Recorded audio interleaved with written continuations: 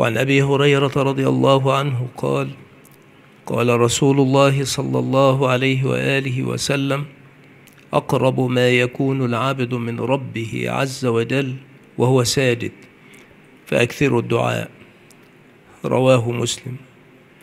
وعن ربيعة بن كعب رضي الله عنه قال كنت أخدم النبي صلى الله عليه وآله وسلم نهاري فإذا كان الليل أويت إلى باب رسول الله صلى الله عليه وسلم فبت عنده. فلا أزال أسمعه يقول سبحان الله سبحان الله سبحان ربي حتى أمل أو تغلبني عيني فأنام. فقال يوما يا ربيعة سلني فأعطيك. فقلت أنظرني حتى أنظر. وتذكرت أن الدنيا فانية منقطعة. فقلت يا رسول الله أسألك أن تدعو الله أن ينجيني من النار ويدخلني الجنة. فسكت رسول الله صلى الله عليه وسلم ثم قال من أمرك بهذا؟ قلت ما أمرني به أحد ولكني علمت أن الدنيا منقطعة فانية. وأنت من الله بالمكان الذي أنت منه فأحببت أن تدعو الله لي. قال إني فاعل فعني على نفسك بكثرة السجود. رواه الطبراني في الكبير من رواية ابن إسحاق واللفظ له.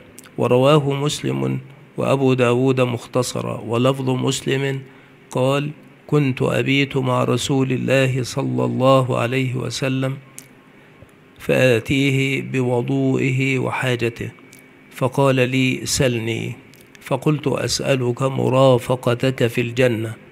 قال أو غير ذلك بإسكان الواو ونصب غير أي سل غير ذلك يعني غير مرافقته في الجنة.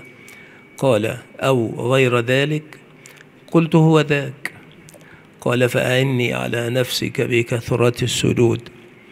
وعن أبي فاطمة رضي الله عنه قال قلت يا رسول الله أخبرني بعمل أستقيم عليه وأعمله.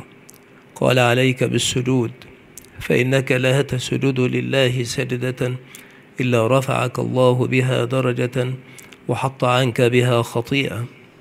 رواه ابن ماجه. وقال الألباني حسن صحيح. فالنبي صلى الله عليه وآله وسلم ذكر السجود وهو في الصلاة. ذكره النبي صلى الله عليه وآله وسلم لمن أراد مرافقته صلى الله عليه وآله وسلم في الجنة. وكذلك ذكره النبي صلى الله عليه وآله وسلم لمن أراد عملا يستقيم عليه ويعمله. وهذا الحديث حديث أبي فاطمة رضي الله عنه رواه أحمد مختصرا ولفظه. قال قال لي نبي الله صلى الله عليه وسلم يا أبا فاطمة إن أردت أن تلقاني فأكثر السجود وقد حسنه لغيره الألباني. وروي عن أبي هريرة رضي الله عنه قال قال رسول الله صلى الله عليه وآله وسلم الصلاة خير موضوع.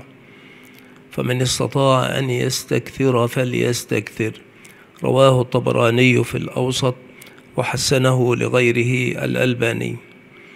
وعن أبي هريرة رضي الله عنه أن رسول الله صلى الله عليه وآله وسلم مر بقبر فقال من صاحب هذا القبر؟ فقالوا فلان. فقال ركعتان أحب إلى هذا من بقية دنياكم. رواه الطبراني في الأوسط بإسناد صحيح. وعن مطرف قال قعدت إلى نفر من قريش فجاء رجل فجعل يصلي ويركع ويسجد ولا يقعد. فقلت والله ما أرى هذا يدري ينصرف على شفع أو على وتر. فقالوا ألا تقوم إليه؟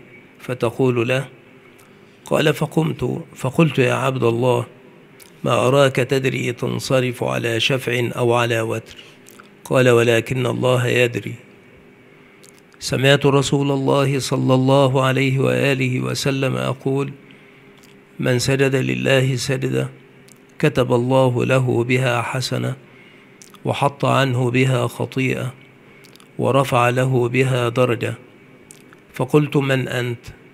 فقال أبو ذر. فرجعت إلى أصحابي فقلت جزاكم الله من جلساء شرا. أمرتموني أن أعلم رجلا من أصحاب النبي صلى الله عليه وآله وسلم. وفي رواية فرأيته يطيل القيامة. ويكثر الركوع والسجود. فذكرت ذلك له فقال ما ألوت أي ما قصرت أن أحسن. إني سمعت رسول الله صلى الله عليه وسلم يقول من ركع ركعة أو سجد سجدة رفع الله له بها درجة وحط عنه بها خطيئة. رواه أحمد والبزار بنحوه وهو بمجموع طرقه حسن أو صحيح كذا قال المنذري وقال الألباني صحيح لغيره.